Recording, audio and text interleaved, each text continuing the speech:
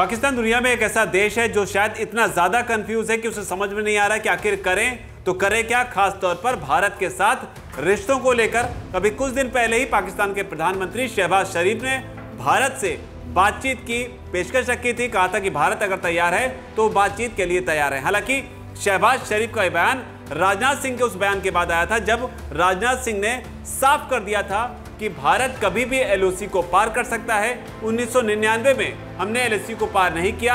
हालाँकि हम कर सकते थे, लेकिन इसका मतलब ये नहीं कि आज हम एलओसी को पार नहीं करेंगे।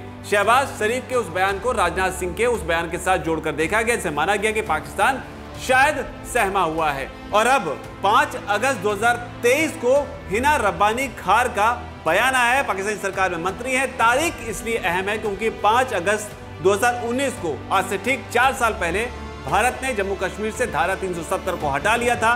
370 को हटाने के बाद जिस देश को सबसे ज़्यादा तिलमिलाहट हुई, वो पाकिस्तान था। इस मौके पर हिना रब्बानी खार का बयान आया है। क्या कुछ कहा है, वो बताते हैं आपको। दरअसल पाकिस्तानी विदेश राज्य मंत्री हिना रब्बानी खार ने हाल ही में पाकिस्तान की जर्नलिस्ट मुइजा जहांगीर को एक इंटरव्यू दिया है। उन्होंने इंटरव्यू के दौरान आर्टिकल 370 को लेकर बयान दिया।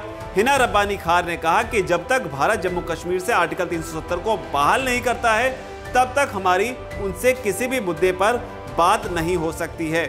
लेकिन अब हिना रब्बानी खार के इस बयान को पाकिस्तान की ही दोहरी मानसिकता के साथ देखा जा रहा है, क्योंकि शहबाज शरीफ ने भारत से बातचीत करने की पेशकश की थी। लेकिन शहबाज के उस बयान के बाद में अब हिना रब्बानी खार का यह कहना कि धारा 370 को जब तक बहाल नहीं किया जाता है, तब तक पाकिस्तान भारत से बात नहीं करेगा। ये अपने आप में पाकिस्तान को एक्सपोज करने के लिए काफ़ी है, क्योंकि अगर हिना रब्बानी खार को अभी भी लगता है कि भारत धारा 370 को जम्मू कश्मीर में दोबारा से बहाल करेगा। तो ये उनका सिर्फ़ एक सपना ही हो सकता है और इस सपने से जितनी जल्दी वो जाग जाएँ, उतना ही अच्छा क्योंकि शहबाज के बयान से ही पाकिस्तान की वो स्थिति साफ़ हो गई थी, जिसमें उन्होंने कहा था कि पिछले 75 सालों से युद्ध लड़ लड़कर हम कंगाल हो गए हैं, हमारी आर्थिक स्थिति बेहद खराब हो गई है और जो नेचुरल रिसोर्सेज हैं, उनका हम किस तरीके से उनको एक्सप्लोर किया जाए, वो हम नहीं कर पा रहे हैं। तो ये बात शहबाज शरीफ ने खुद मानी थी, लेकिन अब उन्हीं की सरकार में मंत्री, उन्हें लगता है